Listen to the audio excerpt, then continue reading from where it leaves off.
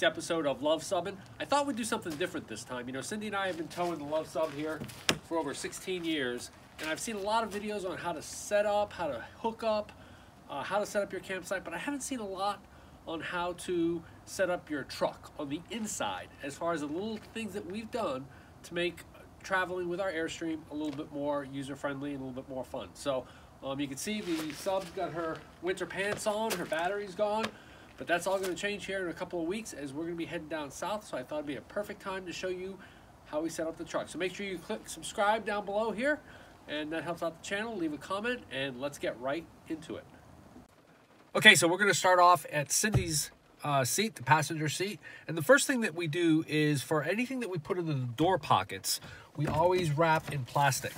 You can see, for example, our WBCCI membership edition.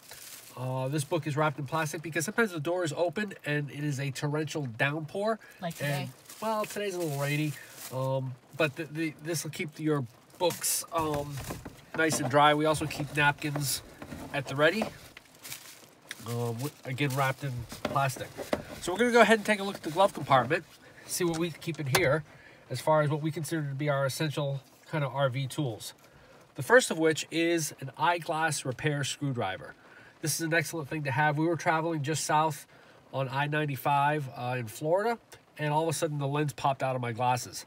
Cindy was able to take my glasses off. I could still see without them, but she was able to repair. They were my sunglasses, and repair my glasses right then and there. So that's a very kind of cool tool to have. We also keep a pair of scissors with a little uh, kind of a cover there, and that's so that when you have those snacks and you're trying to open up the snacks, you can't open up the snacks and you get all mad, you can take your scissors, cut it open, have your snack, and then we always keep a spare paper clip so that we can put the snack back in the uh, location. We keep a pair of matches in the glove compartment. Now you'll see later in the video, I'll go over my safety equipment, but we keep the matches in the glove compartment uh, just in case uh, it would get wet back there. So it stays a little bit more dry here. So that's um, something that we keep. You need two types of flashlights, not just a regular white one, but we also keep, and I don't know why they always blink like that, but we always keep a red flashlight as well to keep our night vision intact should we require something um, to look at at night. So the red flashlight is very important.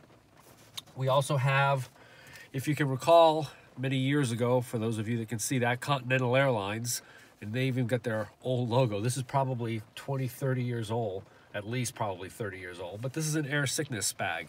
And this should, you know, somebody all of a sudden get car sick, and, you know, instead of making a mess somewhere, we keep this uh, here in our passenger compartment.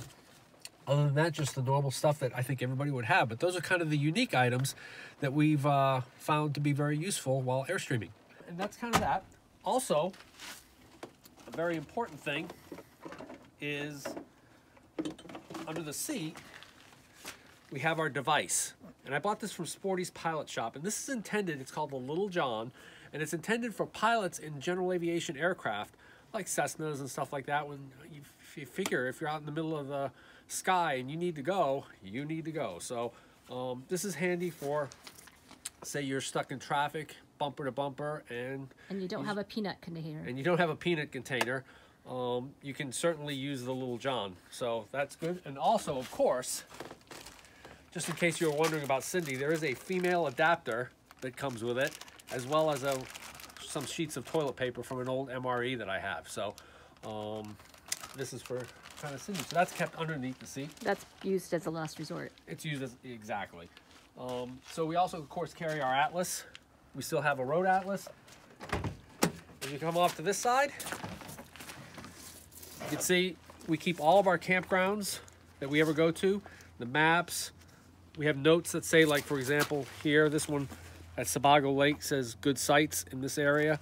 So we keep all of these in our door pocket here, as well as a fire extinguisher on this side.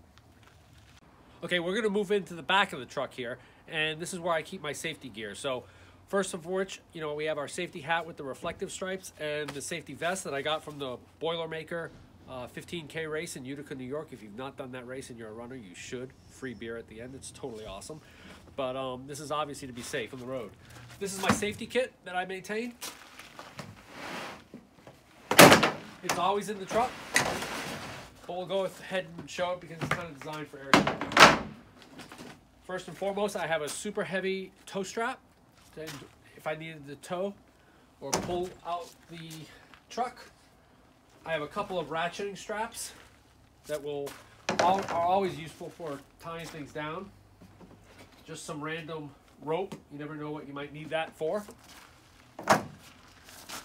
We have our roadside safety flares. Of course, jumper cables. That helps with other airstreamers too. Yeah, we, we actually use that for other stuff. Um, you can see the other half of the tow strap with the heavy duty hooks. Just some gloves in case I need them. We have an entrenching tool, which of course is a small Shovel. foldable shovel, which could be helpful. We have a radio that can be cranked so it doesn't ever need batteries so that we can get weather reports or something else in an emergency. I have this little light thingy that can turn itself on. So if you had to plug that into a cigarette lighter, it would blink and you can hook it onto something on the side. A couple of Cyalume light sticks. Again, to illuminate at night. Spare belt for the truck in case that should ever fail. We have from our Disney Marathon a space blanket to kind of keep things warm. We have the heavy duty three warning triangles. These are what the truckers use. So not just one warning triangle, but we've got three of them that can go behind the airstream if ever we're on the side of the road. And then finally, this is left over from 1980 when we were in Germany. This is a in Germany. It's really interesting because every vehicle is required to have a first aid kit in Germany. It's an absolute requirement. They won't let you pass your inspection without it. So I kept the case. But you've updated the contents. But absolutely, and I go through once a year, and I update the content. So we've got different bandages, um, all kinds of stuff. Some of the stuff is still left over from like Germany, like the safety pins. There's chalk, I think, to outline a body if somebody's on the side of the road or something like that. So all of that stuff is in our first aid kit. That's If you're outlining my body on the side of the road, that's going to be worse than a first aid Well. kit. you got you got to do what you got to do. So there there it is, the safety portion of our Airstream kit.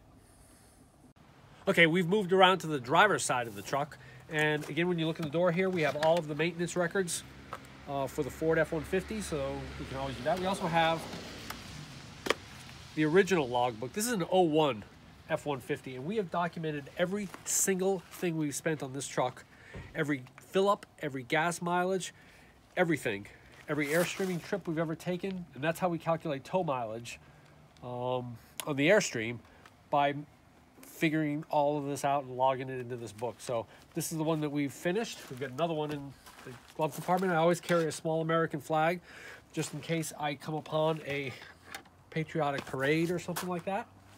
We have a fire blanket in addition to the fire extinguisher uh, that we keep. This goes into the uh, Airstream once we're done towing. Um, it goes underneath the dinette, but when we're towing, we keep it in the truck. And of course, if you know Cindy and I, we always have this little bag in which we have our growler. This one is here from Magic Hat.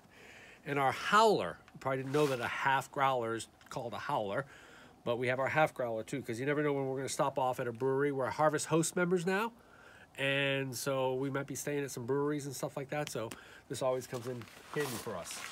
Finally, the last thing we keep in our door pocket this little card here Laminated. And it's laminated and it shows the truck length, width, height, um, gross vehicular weight rating, gross combined weight rating, and the length, width, height of the airstream, the unloaded rate, weight, and then I have also the rig's total length and total gross weight when hitched up. So that's there. So if ever we're hitting an overpass, we know that the truck um, is You know, the height of the truck is six Or feet if we four need inches. a turning radius. Yep. So we keep that.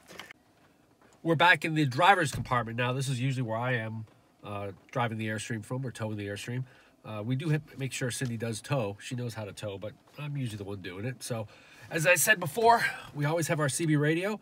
And if you're wondering why you still need a CB radio in this day and age of cell phones, I'll try and link a video up here somewhere if I learn how to do that on our Winter Storm Avery driving as to why a CB radio is so important. So just like I said before with Cindy's side, we um, everything we keep in the door panel is in plastic, and this is something that was a throwaway at work many years ago, 2008, but it's still applicable. And this has all the hazardous chemical ratings for the uh, truck. So we just play a name that hazardous chemical when we're on the road, just something to pass the time. And it's kind of fun. We look at the symbol symbology on the truck. We figure out what they're carrying, how hazardous it is, and should that truck crash, how far away we need to get away from that truck. Then we have the center console. Uh, first thing is we have a uh, infrared temperature sensor, and the Airstream has its temperature sensing um, with its uh, pressure sensor monitors that we have.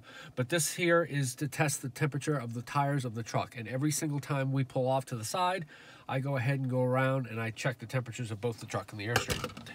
We have our emergency uh, cutter that would break the windows if we needed to break the windows, as well as cut our seat belts if we were hanging upside down. Hopefully that never happens. Of course, I've mentioned before how we never back the Airstream up with our walkie-talkies, so those are in there. Uh, we have our lens cleaners, so that whenever we're trying to clean our glasses, those are always handy. Of course, we also have stuff that everybody has in their truck, like a road atlas and hand sanitizers and stuff like that. But these are kind of the unique things. We have our checklist, of course. I've mentioned many times before, those of you who have ever seen me hitch or unhitch an Airstream in the last 16 years have seen this around my neck, reading off every step as I hitch or unhitch. And then And fi- if, and if you're looking for that, the the got the, our steps are in the uh, New England unit uh, directory. Yes, so if you're members of the New England unit of the Airstream Club, you can certainly um, check that out. But if somebody wants to know, I can always let you guys know. And then finally, like I said, this is our vehicle log in which we track every single item that we've ever done with the truck or the Airstream. And you can see our Airstream cumulative mileage is 64,232.3, which is 46.6% of our truck's 137,955 miles. So that's kind of a look of what we keep in our truck and has we've customized it over the 16 years that we've been towing the Airstream. And if you have any questions, definitely uh, subscribe to our channel, comment in the sections, and we'll see you on down the road. Keep the shiny side up.